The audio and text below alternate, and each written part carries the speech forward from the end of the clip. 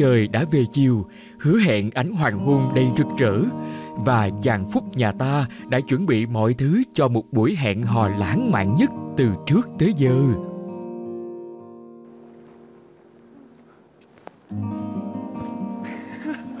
Lên được không?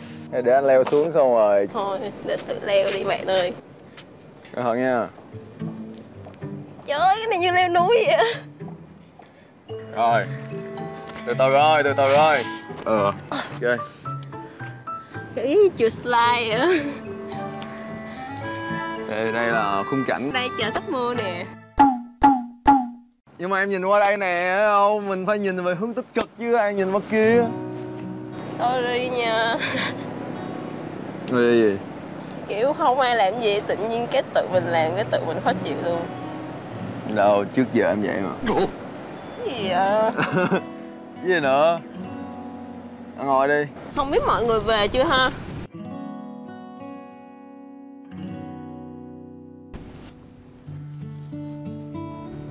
Đi đâu vậy? Gì vậy? Ồ. Anh biết em đâu thích điều đó đâu Dễ thương Giờ em đoán cái này từ đâu ra Bớt á má ơi Ờ, hay quá Công thức tạo nên sự lãng mạn không thể thiếu hoa Mà trong lúc cấp bách thế này thì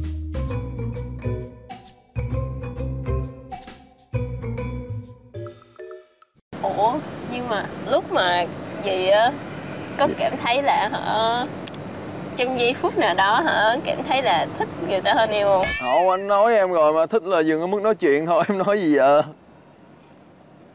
Giống như em thích Lộc thôi. Nhưng mà em thấy khác mà em đâu có hả tiếp xúc Tiếp xúc gì? Em hôn, anh cũng hôn Đúng không? mắc kỳ lắm luôn á. Thì nó đâu có gì gọi là Nhưng tự nhiên đâu tại- Tại nó ép buộc nó là thử thách mà Cái này chỉ là chuyện bình thường thôi Anh Theo anh cảm thấy tất cả Vẫn chưa có gì gọi là vượt quá giới hạn em hiểu không? Nhưng mà kiểu như là em cọc anh canh cọc em lại luôn. Ừ Người ta đã thỏa thuận rồi Trước khi bắt đầu chương trình ok Tất cả gì xảy ra trong mà- chương trình để lại ở trong chương trình đúng không? Nhưng mà ta ghi Thì đương nhiên đó là chuyện xảy ra Đó là chuyện cả hai đều biết mà đúng không? Anh nghĩ là em rủ anh tham gia chương trình này là em phải có sự chuẩn bị tâm lý tốt hơn chứ thì tưởng chuẩn bị Ở một phút giây rồi. nào đó anh từng nghĩ là em là sẽ là người cầm chịch cuộc chơi phải không? cầm mà cầm không được. Ờ đó. Sao mà anh, anh, anh, anh chỉ thấy có mỗi anh à? Nhưng mà thôi. Cũng đỡ được cái là xong rồi. Giờ cái chuyện tiếp theo là Ở những thành viên còn lại Như thế nào? Thì theo cái hướng anh nghĩ là em nên có một cuộc nói chuyện với Lộc. Có rồi, hồi chưa tụi em nói chuyện rồi. Lộc biết hết rồi. Nhờ Ờ, th- thật ra là tối hôm qua em nói chuyện với em nói chuyện như trước ừ. tại em nghĩ là như thích lộc ừ. mà như đang ngại là em thích lộc với lại lộc cũng thích em xong rồi em kiểu muốn như ấy hơn đó nên em cũng tự thú với như luôn xong rồi à, Chán vậy, chơi game thì chán không? ủa nhưng mà Em làm anh hơi nhậu hơi nhiều á tự nhiên cái mình gặp được một người bạn tốt mình đúng không để mình lừa gạt người ta Lừa gạt gì? Đó là khi mà tham gia game show là mọi người đã chấp nhận cái chuyện đó rồi. Thì cái tình bạn của mình nó vẫn là như vậy thôi Nhưng mà có thì những... em có nói gì đó, xong rồi Nhi cũng nói giống anh á. Nó kiểu kỳ lắm luôn á. Vậy là em nói chuyện với Lộc rồi à? ờ chị thằng khóc. Vậy là phải nói chuyện với Tuyết nữa Em có đoán được là anh sẽ nói gì không? gì? Những gì mà anh sẽ nói với Tuyết là cảm xúc anh dành cho Tuyết như thế nào? Anh nói thẳng ra là anh có thích Tuyết luôn Nhưng mà ở mức độ là nói chuyện thôi. Và không có gì là giả ngoài cái danh tính của anh. Tự nhiên cảm thấy mệt quá à. Em không hiểu sao lúc này em cũng phải lo lắng hết á.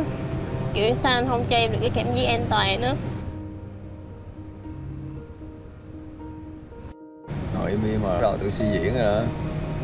Em có vấn đề gì với điều đó không? vấn đề là người ta sao thôi chứ rõ ràng kết quả thì người ta cũng biết rồi. Mà em phải hiểu là mỗi người mỗi tính cách khác nhau. Không phải ai cũng giống ai. Em nên chấp nhận cái tính cách của người khác. Không phải cái gì mà mình nghĩ là đúng là tốt thì nó sẽ như vậy. Em không thích thì em dừng lại đúng em cảm thấy khó chịu. Thì em nói ra em nói thẳng ra đúng. Điều đó làm cho em thoải mái hơn đúng không? Anh cũng cảm thấy điều đó nên làm. Nhưng mà cái cái mà anh khó chịu em biết đó là gì không?